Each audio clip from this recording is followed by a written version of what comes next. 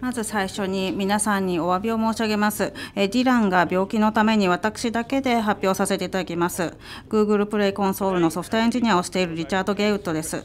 今日は高品質アプリ開発のために便利な10の機能をご紹介します。今日のお話の内容です。まず、なぜアプリのパフォーマンスが重要なのか、またユーザーにとってアプリのパフォーマンスがなぜ重要なのか、そして Google プレイコンソールがどのように皆さんにお役に立つのか、皆さんがアプリのライフタイムを通してパフォーマンスを改善するにはどうしたらいいのか、ランチ前、そしてランチ中、そしてその後どうすればいいのか、そして Google のチームが最善のパフォーマンスを出しているアプリに対してどういった賞を出しているのかです。ではなぜアプリケーションのパフォーマンスが今日重要なのかという話をわざわざしているのかです。たくさんのアプリがあります。プレイストアには100万以上のアプリがあります。そしてしかし、すべてのアプリがパフォーマンスが高いわけでありません。クラッシュしたり、遅かったり、ユーザーのバッテリーを消耗します。そうすると、こういった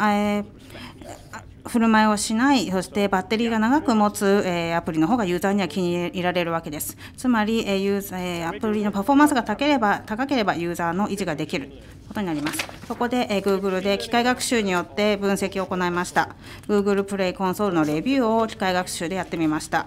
ユーザーで一つ星をつけたレビューと、そしてえの場合には、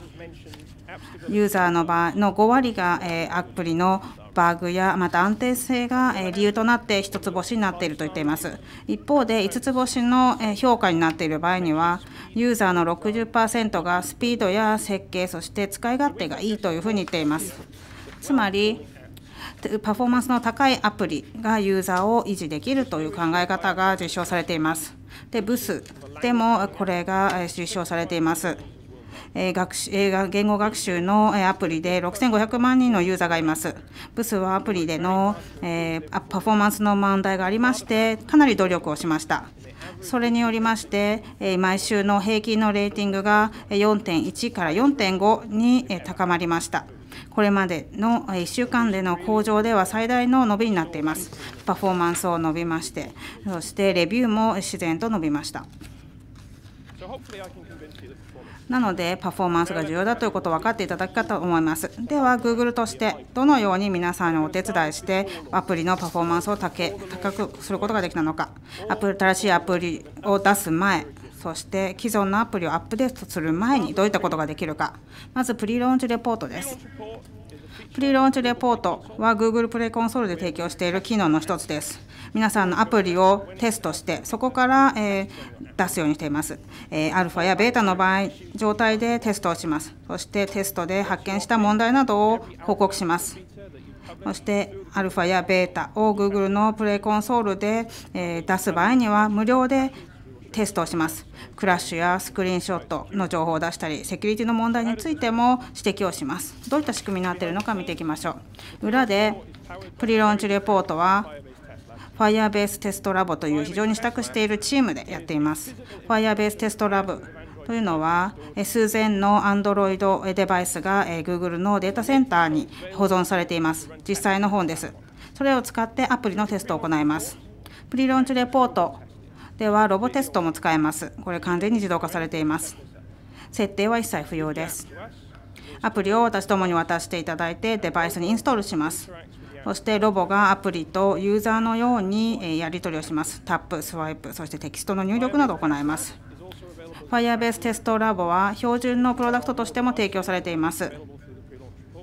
プリローンチレポートよりも多いデバイスでのテストもできますし、エスプレッソなどのスクリプトのテストもできます。また CI のサーバーループにも入れ込むことができますので、継続的な統合などにも使えます。有料のものもありますが、プリロンチレポートは無償で提供されています。では、プリロンチレポートで何ができるのか。まず一番重要なのがクラッシュの試験だと思います。アプリをインストールした後に、クローラプロセスがアプリとやり取りをして、携帯がクラッシュしてしまった場合には、もちろん皆さんの方に情報をお送りします。スタックトレース、ログキャット、デバイスの使用、などなど皆さんがクラッシュのデバッグに必要な情報をお送りします。それによって皆さんに修正をかけてもらいます。ビデオでもロボがアプリをクロールしてどういった動きをしたのかもお見せします。でこのクラッシュに必要な情報をお渡ししますのでユーザーにラウンチしてそしてユーザーがそれを体験してレビューに書く前に修復できるようにしています。で PLR これまず IO の2016年で昨年発表しました。それ以降上位1000のアプリのうち61%が導入しています。APK100 万件以上をテストしました。そして1000万件以上の APK のクロールをすべてのデバイス合計で行いました。でも一番気に入っている私の数字これです。クラッシュを PLR で特定した場合、プリローンチレポートで発見したクラッシュの85%は本番にプッシュされたことはありません。つまり何らかの修正をかけてから本番に出されたということになっています。つまりここで違いが生まれていると思っています。プリローンチレポートは2016年にローンチしました。その後、製品のアップデート、そして更新もかけています。今年の I.O. で新しいデバイスをえ対応しました。Android の UGA、そ Android O のプレビューでも Pixel を実行できるようになりました。つまり Android の O が一般に公開される前にテストを実行できるようになっています。で、皆さんに影響があるような内容についてもテストができるようになっています。また、サムソンの Galaxy S7 Edge も追加されています。その後に Galaxy の J1 Ace、そして J7 も追加されていますので、常に進化してオファリングを拡大しています。これが1つ目のシークレットです。そして Android O のプレビューテスト機能を備えたプリランチレポートです。しかし、プリランチレポートでの改善はそれだけではありません。多くのデベロッパーがユーザーログインでの問題があって、そしてログインのスクリーンで止まってしまうので、クローリングができないという話がありました。そこでカスタムログインのサポートを強化しました。ユーザー名とパスワードを入れて、そうするとロボクロアがそれを使ってアプリにログインできるようになっています。それによってより多くのアプリの機能を試すことができます。スクリーンショットのクラスタリングも追加しました。アプリを、えー、のテストをしているときにデバイスやタブレットさまざまな大きさのテストを行うときにスクリーンショットを撮るようにしています。これらを集めてインテリジェントにクラスタリングします。ランディングページがそれぞれの違うサイズでどのようになるのか、OEM の携帯ではどうなるのか、バージョンが違う Android だとどのようになるのかということを確認できます。さらに、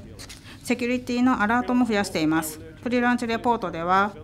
30以上の脆弱性に対応しています。オブソリートライブラリーでは、セキュリティの侵害や、また識別子の漏れ、HTTP での暗号化されていないトグラフィックでの個人情報の漏洩などに対応しています。もちろんこれをあえてやっているわけではないんですけれども、えー、ま意図せずにサードパーティーの SDK を使ってしまって、そして SSL などの問題が発生しないようにやっています。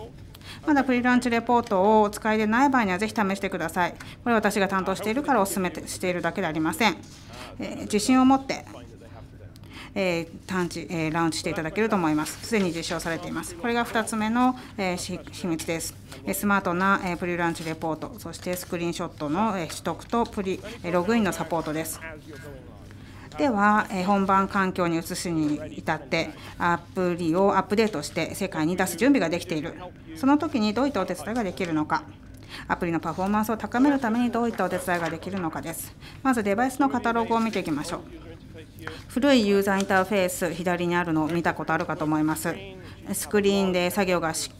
にくいチェックボックスも多いしアプリを特定のデバイスで、え動かしたくないという時にも操作が難しい状況でした。そこで置き換えてここを置き換えています。右手のような新しい UI になっています。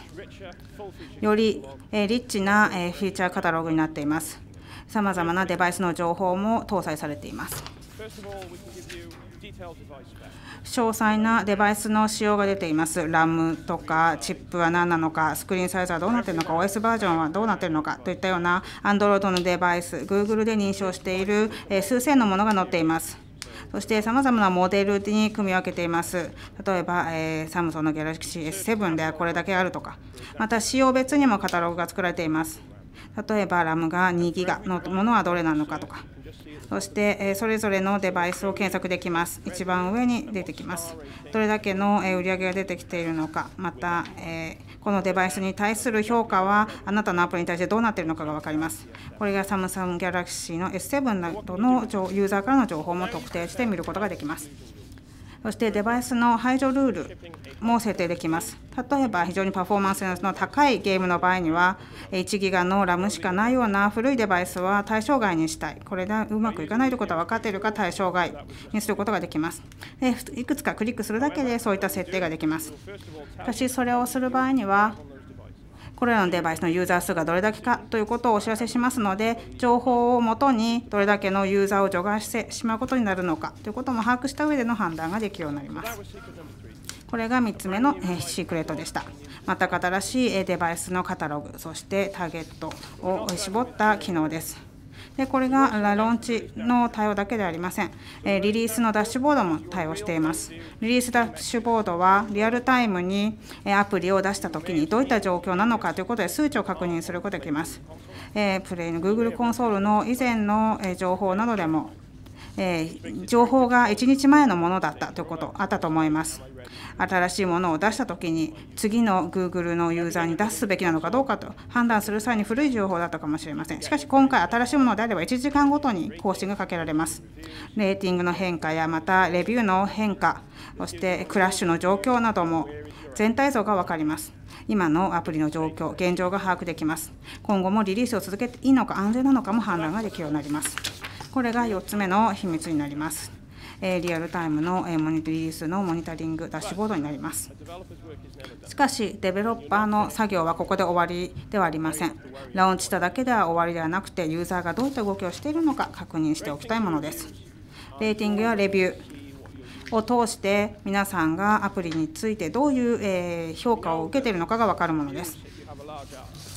例えば非常に大規模なアプリでテキストも多くてそしてレビューがなかなか分析できないということがあると思います。英語で書かれているレビューについても分析がかけられになっています。機械学習によって共通のトピックなどを引き出してきて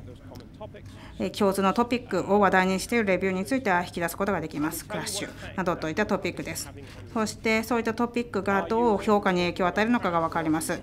ユーザーがクラッシュについてたくさん話している場合には星の数が少なくなっているということも分かります。でそれ昨年英語ですでに対応していますけれども今年は日本語とそしてスペイン語にも対応しています。レビューの分析をしてユーザーがどのような見解を持っているのかが多言語でも分かるようになっています。そしてレビューを見た時にもユーザーが実際前に何を言ったのか過去の発言が分かりにくいという話がありました。新しい Google コンソールではもともとのレビューを編集して、え、アップデートすることができますのでそうすると前の履歴の情報が残りません。しかしここで履歴のトラッキングができているようになっています。ユーザーがこのアプリについて発した過去の発言についても分かります。これまではどう思っていて、そして今後どういうふうに見解が変わったのかといったコントロールができるようになっています。そしてレビューに返信をするしたいということであれば、ぜひこれもお願いしたいと思います。レビューにの評価につながってきます。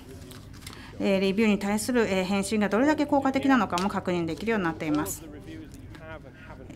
今まで回答したもの、していないもの、レビューをすべて表示できます。そしてユーザーのスターの星の数もの変化も示すことができます。例えば、あなたの方から返信をしたユーザーの方が星の数を増やしてくるということもあります。そして、レビューに関連する最後の機能ですけれども、よくあるフィードバックとして、レビューのサービスの中でスパムや、えー、例えばスパムやまた、えー、批判をするようなレビューもあります。なので私の方の方で確認するべきレビューがあれば、え、それらについてはリストから、え削除して他の人が見えないように設定を変えることもできます。これが5つ目の秘密になっています。さまざまなツールを通して、え皆さんのレビューを管理して分析ができるようになっています。では次に Android Vital のお話です。これは Google が大規模に取り組んでいるものです。Android のエコシステムのパフォーマンスを改善するためのものです。必要なデータを提供して高品質なアプリを出してもらうものです。で、ダリオがこの後に発表しますが彼の方から数値などについてはもっと詳しくお話しますそしてどう言って問題を解決できるかもお話したいと思いますなのでここについては次の話題で見ていただければと思います Android アンドロイドバイタルですけれども、非常に大きなデータです。どう入手すればいいのか、何をする必要もありません。コンフィギュレーションは全く必要ありません。データはアップロードされて、それはそのサービス、ユーザーの同意も必要ありません。変更も必要ありません。Android の OS のバージョンすでにサポートをされています。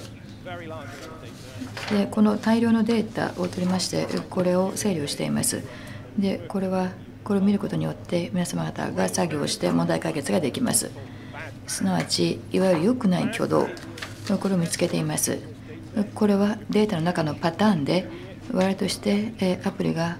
何か間違ったこと良くないことをやっているということが確認できるようなものです。どういうことを意味するのかですけれども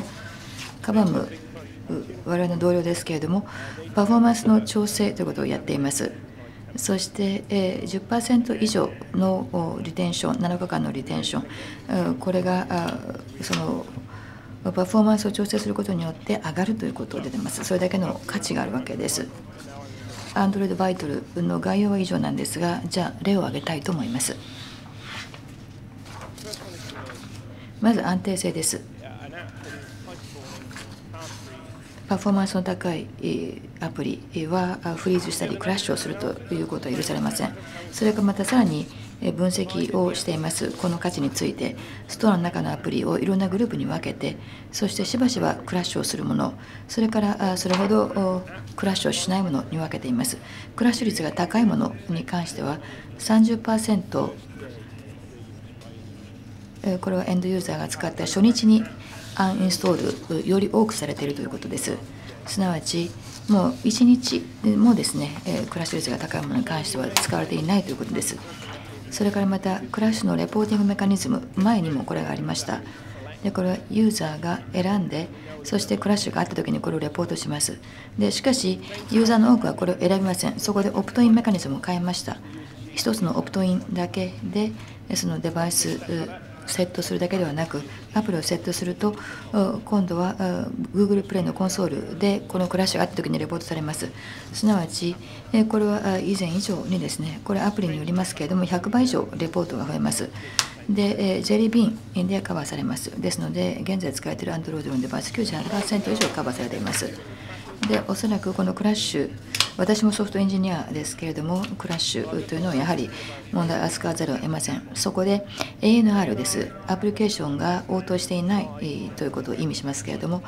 例えば5秒から10秒 AndroidOS にですね応答してこない。そうするとストップするということです。ANR というのはちょっとトリッキーです。と言いますのは通常これクラッシュレポート SDK Android がアプリを止めた。そうするとしかし SDK はもうコミュニケーションをする手段がありません。しかし今フルフィーチャーのその Google プレイコンソールにおける ANR のセクションがあって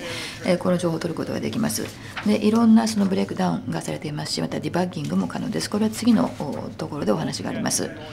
それからまたさらにもっと情報を取って ANR とクラッシュのセクションさらに皆さんが情報を見ることができます。で Twitter ですがこれは非常に役に立つ機能だと言ってます。これ以外の手段ではこのような情報が得られなかった。そして実際にこれまで分からなかったデッドロックもですねあるいはまたディバッグもこれ可能になったということを言ってます。ですのでクラッシュ率それから ANR 率これが非常に重要です。これが多くのユーザーに影響を与えています。でこれが7つ目の機能ということになります。でそれではレンダータイムについてお話をしましょう。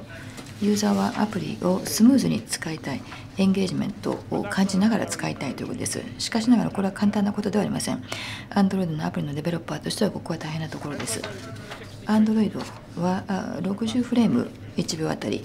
スクリーンのアップデートが行われます。すなわち16ミリセカンドごとにですねレンドタイムが必要ということになります。でこの16ミリセカンドできなければこれわずかな一部でも落ちてしまいますと今度は次のですねフレームのバウンドリー32ミリセカンドになってしまいます。ですのでそうしますとそこで不連続が生じてしまいます。でこれが連続して起こりますとユーザーはどうもこのアプリというのはですねリスポンスが悪い音が悪いクオリティは高くないということになります。さらに悪い悪いことに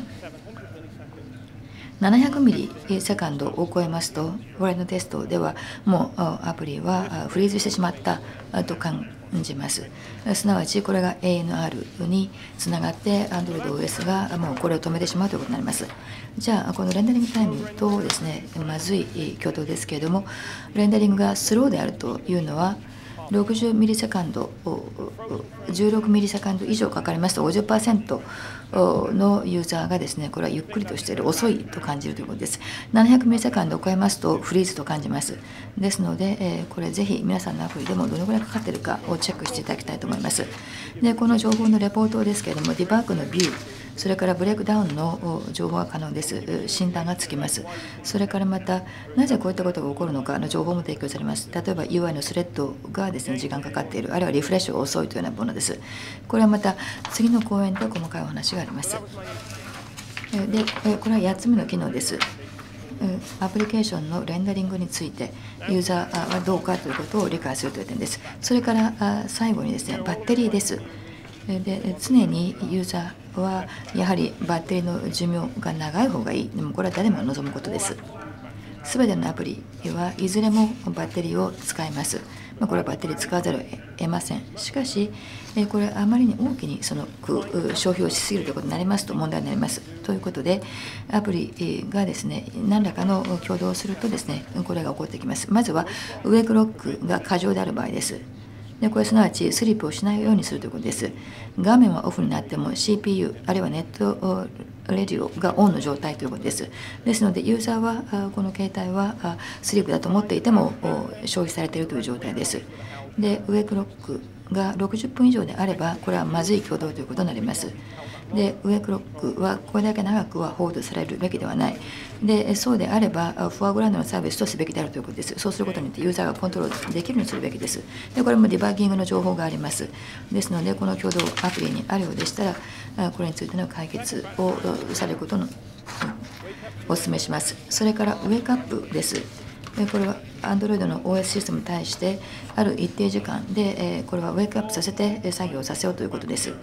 で、えー、まずい共同というお話をしましたけれどもこの場合には1時間あたり10以上のウェイクアップがあればまずい共同ということになります。これほど頻回では頻度が多すぎるということです。ここで9つ目の機能ということになります。バッテリーの情報それから Android がそれに対してのどう機能しているかという点です。それから最後に、えー、お話をしたいのがおそらくこのユーザーのためにですねやはりプレイストアの中でできる限りやはりパフォーマンス高くそしてその評価も高いものこれを希望しているということでそれに対してのリボードを考えています。クオリティが最も高いアプリに対しましてのリボードです。でまずはですねこのサーチのリザルトの結果ですけれども48%のアプリのユーザーというのはアプリに対してアプリストアでもってブラウズしているということです。ですので、この検索の結果が早く出てくるということが必要です。Android Vital で、じゃあ、この最初に出てくる、その Android Vital のメトリックスの結果からパフォーマンスが非常にいいということであれば、レオードとしてですね、アプリがですね、早くにここで出てくるということが行われます。それからまた新着であるとかアップデートのフィーチャーのコレクション、あるいはエディターチョイスのセクション、非常にポピュラーなもの、ここにやはりそのパフォーマンスがいいという場合には、Android Vital のようなメトリックスの結果として出てくると、これも考慮に入れて、ここに出てくるというわけです。ということで、えー、皆様方、もしまだチェックされていなければ、Android Vital のセクション、